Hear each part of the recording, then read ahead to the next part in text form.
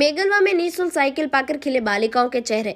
सायला उपखंड क्षेत्र के मेगलवा कस्बे के राजकीय उच्च माध्यमिक विद्यालय में मंगलवार को साइकिल वितरण कार्यक्रम का आयोजन जिला परिषद सदस्य रामाराम चौधरी के मुख्य अतिथि तथा उप तहसीलदार चमनलाल की अध्यक्षता में हुआ। विशेष अतिथि के रूप में सरपंच केराराम राणा, लासी चौधरी, पीओ अरविंद बाजक उपस्थित रहे। कार्यक्रम को संबोधित करते हुए रामाराम चौधरी ने कहा कि राज्य सरकार व शिक्षा विभाग की ओर से शिक्षा के प्रति बालिकाओं को प्रोत्साहन देने के उद्देश्य से कक्षा नौवीं की छात्राओं को साइकिल वितरण की। प्रदेश सरकार बालिका शिक्षा को बढ़ावा देने के लिए पूरी तरह से कटिबद्ध रहेगी।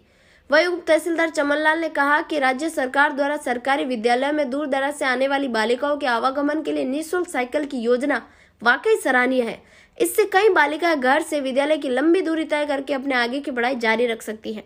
वही लासी चौधरी ने कहा कि भारत में बालिका शिक्षा काफ़ी हद तक राष्ट्र विकास के लिए आवश्यक है, क्योंकि बालिका बालक, बालकों की तुलना में बेहतर काम कर सकती है।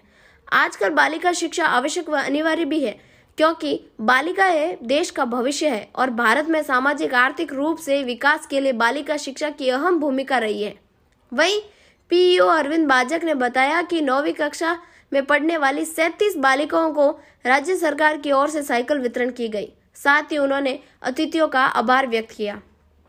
विद्यालय से स्थानांतरण हुए तीन शिक्षकों को विदाई दी गई। इस मौके पर राजकुमार, पंकज खत्री, नरेंद्र डाबी, पूराराम डांगी, प्रकाश देवासी मनुलाल रवि देवासी, लुकाराम, मनोज, जयप्रकाश स्वामी समेत कई लोग मौजूद रहे। नहीं तो वो उनकी जिम्मेवारी अपने पे सौंप देंगे कि वो क्या चाहते हैं। नहीं तो अपन बता देंगे उनको तो वो कहेंगे कि जो बच्चा चाहता है, उसके पीछे मम्मी पापा अपने पूरा सपोर्ट करते हैं, अपने गुरुजन भी अपने पीछे पूरी जी जान से लग जाते हैं। और मैंने तो यही कहा, मैं एट क्लास से पापा को बोलती थी, पापा, मेरे को डॉक्टर बनना है और मैं बनूँगी।